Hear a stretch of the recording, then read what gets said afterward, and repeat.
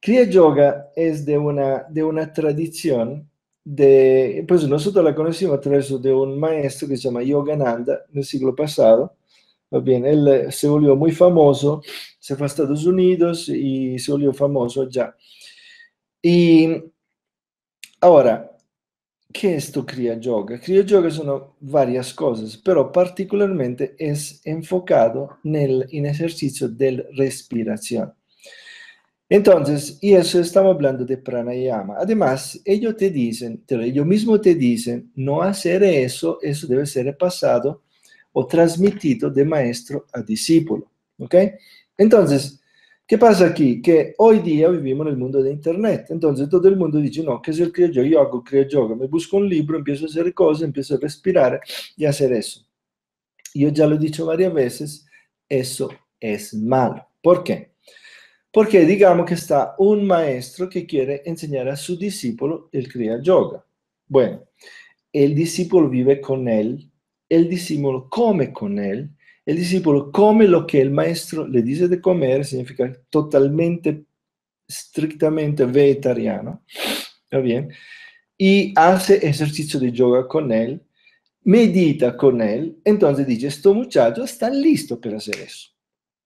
Entonces le enseña el Kriya Yoga. Ahora, si nosotros volvemos cualquier tipo de práctica del yoga, cualquier tipo de práctica espiritual popular, significa que la lanzamos al mundo y lo enseñamos a todo por internet, con Skype o con, uh, un hangout, te enseño esto.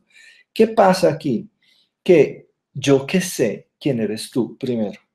Yo que sé si tú comes como debería comer, que haces las cosas como las debería hacer, si eres una persona moral o si tú empiezas a hacer que aprende algo y empiece a pasarlo a todo el mundo y te abre un centro de yoga y empiece a hacer más daño que cualquiera.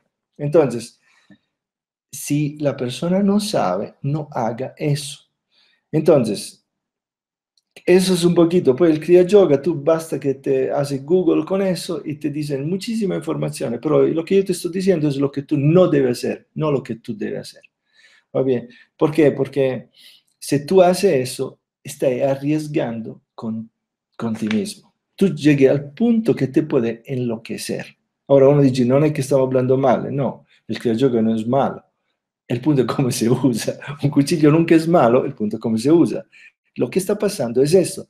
Nos volvimos demasiado abierto a todas las cosas. Ahora, esto no es que un secreto, no es un secreto. Es que se hace por amor. Digamos que tú me dices, dale, enséñame a hacer esta cosa aquí. Dice, yo te pago.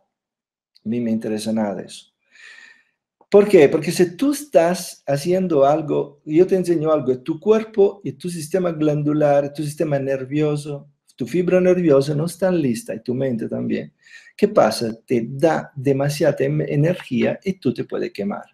Si yo busco un electrodoméstico de 110 de Estados Unidos, le pongo en Europa 240, ¿qué va a pasar aquí? Se quema el electrodoméstico, cualquier sea. ¿Por qué? Porque la descarga de amperaje o no sé qué, voltaje, es diferente. ¡Bam! Quema. Eso es lo que podría pasar a tu cuerpo. Entonces, eso es para satisfacer tu curiosidad. Entonces, si lo quieres hacer, hazlo, pero a tu riesgo y peligro. ¿Ok?